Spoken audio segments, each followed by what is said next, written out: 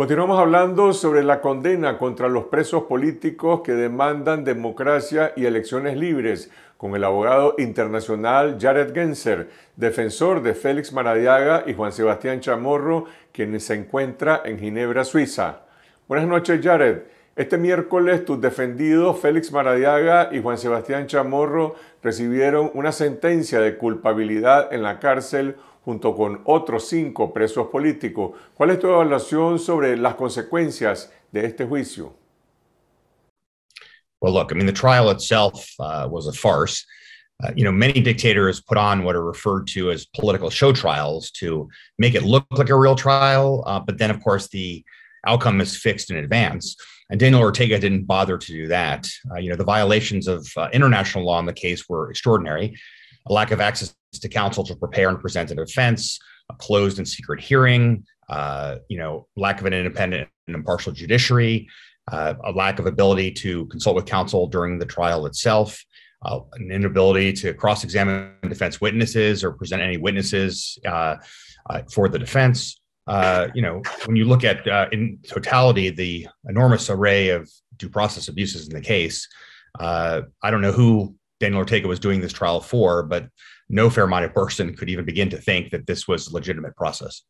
Ahora, desde junio y noviembre del año pasado, la Corte Interamericana de Derechos Humanos ordenó liberar a Juan Sebastián, a Félix y a los presos políticos Arturo Cruz, Violeta Granera, Tamara Dávila, José Palé y José Adán Aguirre, pero el gobierno de Nicaragua no acató el mandato. ¿Hay alguna forma de hacer para que el gobierno cumpla con lo que manda la Corte? Well, unfortunately, this is this is why this is not purely a legal case, but this is a case, obviously, uh, that is uh, highly political. Now, I would not like for it to be political. Let me be clear. As an international lawyer, I believe in the importance of the rule of law and of applying the law consistently in all cases to all people. And if the legal system in Nicaragua is one in which one could have a fair trial, then you know there should have been a fair trial. Um, but clearly, Daniel Ortega is acting with total and complete impunity uh, with these uh, gross violations of the human rights of not just Felix and Juan Sebastian, but all of the political prisoners in the country, who are all being subjected to similar, uh, you know, similar uh, processes that that lack any regularity uh, or uh, you know, or even appear to be a trial in any meaningful sense. And unfortunately, Dan Ortega is not engaging really anywhere in the world, not just at the at the Inter-American Court on Human Rights, which is of course a binding legal obligation to release them because you know, Nicaragua is a party to the OAS Charter and the statute of the court. Um, but of course, he's not cooperating, you know, with the Inter-American Commission on Human Rights. He's not cooperating with the Office of the United Nations High Commissioner for Human Rights. He's not cooperating with the United Nations Human Rights Council. You know, a year ago, uh, the UN Human Rights Council adopted Resolution 46 slash 2, and there were 14 specific recommendations made to uh, to Ortega uh, as to how he could work to improve the situation of human rights in the country. And one year later, he has not uh, fall through on any of those specific recommendations. Uh, and uh, and we've seen uh, you know even you know bilateral efforts undertaken by countries in the region, uh, countries like uh, Argentina, Mexico, Honduras have also yielded nothing uh, as a result as well. And so you know the question becomes for the international community in these in this kind of extreme set of circumstances.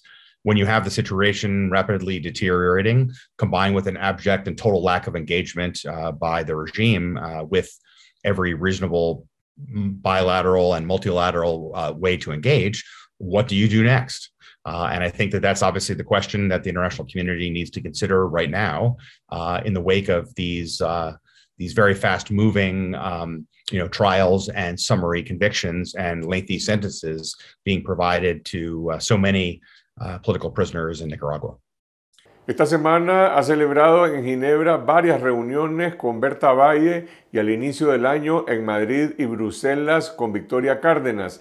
¿Está promoviendo alguna acción específica sobre los presos políticos con Naciones Unidas o con la Unión Europea? I definitely am. Uh, in fact, uh, we had a very um, a very uh, useful trip uh, to Geneva. We met about 15 to 20 different delegations of different uh, governments uh, at their permanent missions uh, in Geneva and had a very frank and honest exchange of views with a, a, wide array of, of countries that sit on the UN Human Rights Council from all the regions of the world.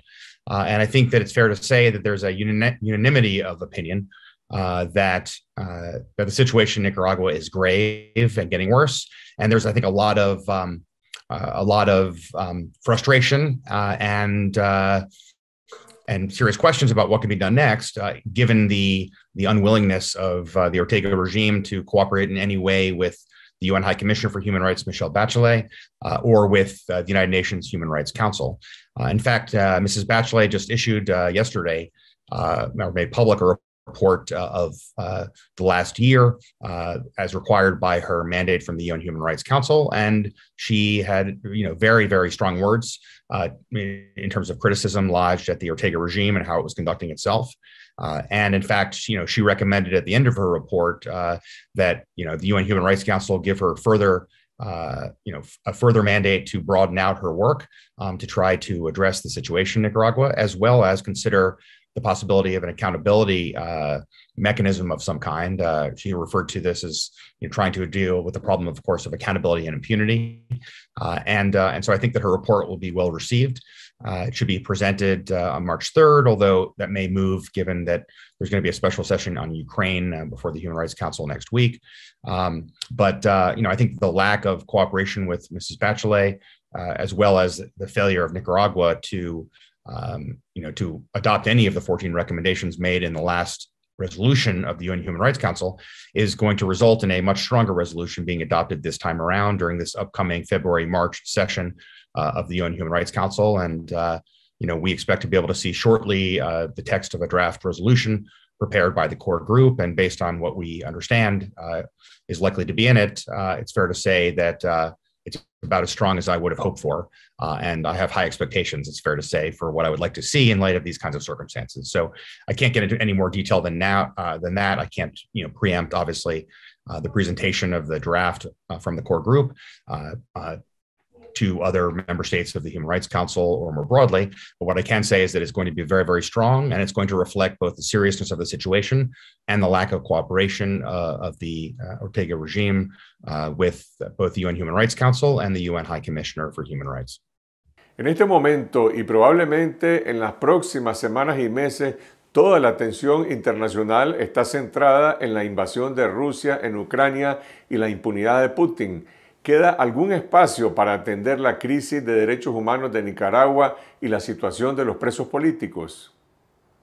I think the short answer is absolutely.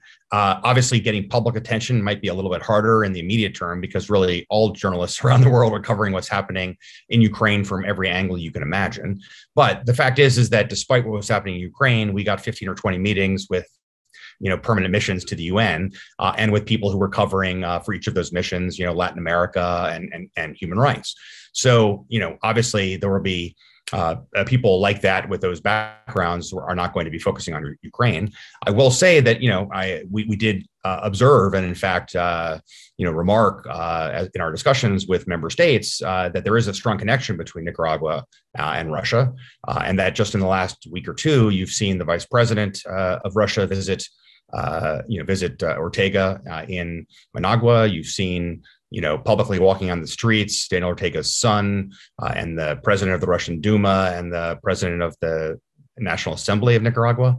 Uh, you've seen, uh, of course, Ortega speaking out publicly uh, in support of uh, Putin having, uh, you know, recognized these um, two territories as now being independent and being controlled by the Russian government.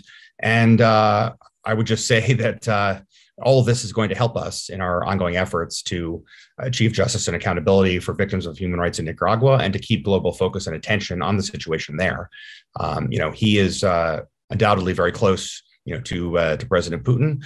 Um, but President Putin is not going to have a lot of friends in the world left. And frankly, I think President Putin has more important things to do than worry about providing uh, support to Nicaragua. So I think that this association and this close association that President, um, uh, you know, that President Putin uh, seems to now have with Daniel Ortega uh, is that not in the long run going to benefit uh, Ortega or his regime in any way, but in fact will ensure that what's happening in Nicaragua will actually remain on the public agenda uh, rather than fall off it because of the ways in which the Ortega regime has intentionally connected itself and in support of the invasion of Ukraine by Vladimir Putin and the Russian uh, military.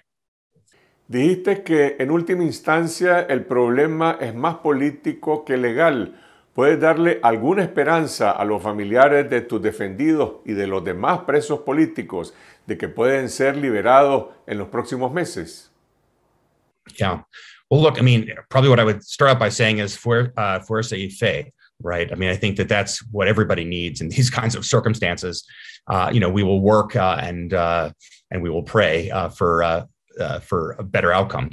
Uh, and that is exactly what we're going to do. Look, there is always hope, um, you know, and uh, and I think that you know the series of decisions that Daniel Ortega is making are cumulative, not just individual. Um, and the you know the approach that he has taken has you know led to uh, you know, led to condemnation from around the world. I mean, if you look at, for example, the last vote in the OAS that took place at the Permanent Council of 26 to one, with I think around six or seven abstentions, right? You know, on Venezuela, you see a totally different uh, dynamic, right, with an even split in the OAS system. So Ortega has virtually no friends left in the international community, and uh, and the reality is um, that you know uh, you see you know Europe, the United States, Canada, and other uh, countries in the region uh, working more intensely and closely together to look at the wide array of measures that can be undertaken to put maximum pressure on him uh, on his on his regime, on uh, business people that are supporting the regime, uh, on those involved in drug ca- drug trafficking, uh, narco trafficking, um, and uh, and I think that um, again, you know, the way that he is acting. Uh, I suspect a very strong vote in favor of this resolution uh, in Geneva, which will be surprising in light of the, you know the general dynamics that you see at the council. And I think that that will demonstrate a, a much further erosion of uh, what little support he might have left. So, uh, you know, what I would say is that, you know, we're all going to keep pushing as hard as we can. Um, you know, my experience representing political prisoners over the years in probably about 25 countries is that, that you know, political prisoners are not released because the dictator decides one day I'm going to release them. They're released when he has to release them, right? And that means that you have to put intensive pressure on him uh, in order to decide that you know he would prefer something else like staying in power than keeping the political prisoners in jail and i think that we can with the kind of ongoing pressure that uh, we are putting and um, you know, the expansion of that pressure, we can have an impact. I mean, I think it's no accident. I would just conclude by saying it's no accident that uh, it was on the very day that uh, the permanent council met in an emergency session uh, last Friday to discuss the situation of political prisoners in the country. Um, you know, in the wake of obviously Hugo Torres's tragic death, that uh, Dan Ortega sent three of the political prisoners from prison to house arrest. Right. The reason he did this is because these are the next three that probably would be most likely to die based on their health. And he clearly wanted to avoid them dying, right? Because he's realized now that there's been a huge backlash against him from that death. And, you know, you don't often see the permanent council of the OAS and its 34 members meeting in an emergency session, right? And this was triggered by the death of Hugo Torres. Uh, and so this demonstrates to me that the pressure is working, obviously not as fast and, uh, and as broadly as we would like, but it demonstrates that uh, despite his claims to not care about the views of the international community, he's paying very close attention to what um, different governments, what intergovernmental institutions, and what um, you know what civil society groups uh, and advocates like Berta Valle and uh, and Vicky Cardenas are saying. Uh, he's monitoring that very closely. He's very worried about what they're doing and how they're advocating, and he's actively trying to uh, you know present uh, you know some kind of defense against it uh, in his uh, in his conduct. So I think that this is a, all a good sign as I see it. Uh, again, you know a good sign in obviously a very dark time that we are in um, but it demonstrates that you know that kind of pressure can work and we need to increase that pressure dramatically in order to get the, to the kind of outcome we all want and need which is the you know the immediate and unconditional release of all of the political prisoners ¿Dónde está el Vaticano y el liderazgo moral del Papa Francisco en esta crisis de los presos políticos de Nicaragua? ¿Tiene alguna presencia o está ausente?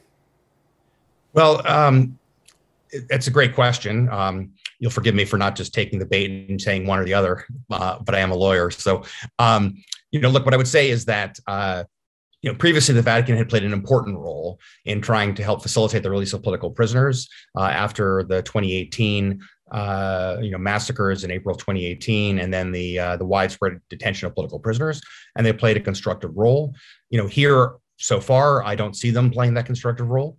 Um, undoubtedly, the church is under attack itself by the Ortega regime, uh, and I think that that's one major challenge that it is facing because you know it's some of the churches have been, you know, attacked and uh, and uh, priests beaten up as well. And so I think there's a lot of concern there.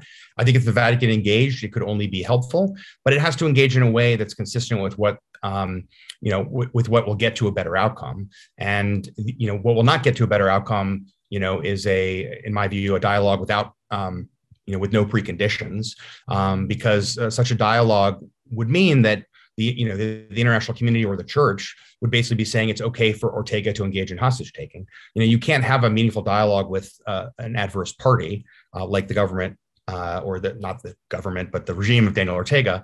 Um, you know, if the regime is not prepared to uh, engage in good faith, and one key metric of whether they're engaging in good faith is whether they renounce hostage taking as a key strategy in how they conduct their activities. You know, if if you say that hostage taking is acceptable and therefore you will sit down with a regime that will take hostages, then what that means is the negotiators themselves that might sit down themselves can be taken hostage. You know, if uh, if Ortega doesn't like how it's going, right? And and that can't be an acceptable way of doing business. And so the only way you can have a meaningful dialogue um, with uh, with the regime is uh, is if it begins with an immediate and unconditional release of political prisoners, because that would be a show of good faith um, that that in fact uh, the Ortega regime is looking to take a different path. Now, believe me, I understand fully that um, you know every family of a political prisoner um, in the country that they're all desperate. I can assure you, my clients Berta Valle and uh, uh, and um, you know Vicky Cardenas are just as desperate as every other family. And some families want to try to engage in discussions with the government I don't sit in judgment of anybody. I mean, you have to do what you think is best for your loved ones, uh, and so that's entirely uh, reasonable and appropriate. Um, what I would say is that, based on my experience, having worked on these kinds of situations around the world, you know, the you know the only people that could have a meaningful uh, engagement right now with Daniel Ortega are, you know, international institutions and governments that have things that Ortega wants, right? And what does Ortega want? He wants removal of sanctions. He wants, you know, these resolutions to stop happening at international institutions. Um, he wants to be able to trade, and he wants to remain in power, right? And and unfortunately, none of these things are things that the families of the political prisoners have to give him, right? And so, at the end of the day, um, you know, even the families of the political prisoners can't even assure um, Ortega that if their loved ones were released, that they would be quiet in the future, right? Uh, you know, many of these people would end up in exile, and unfortunately, after the last, uh, or not surprisingly, after the last releases in 2019, you know, a number of people spoke out about their terrible experiences in prison, and so at the end of the day, I, I just think the families of the political prisoners you know don't have anything that Ortega needs other than wanting to be recognized as the legitimate government of the country and if you sit down with a regime and recognize its validity when it's an illegitimate regime, then you've actually already given him what he needs. He doesn't actually have to let anyone out after that because he's gotten that recognition that uh, that he's looking for.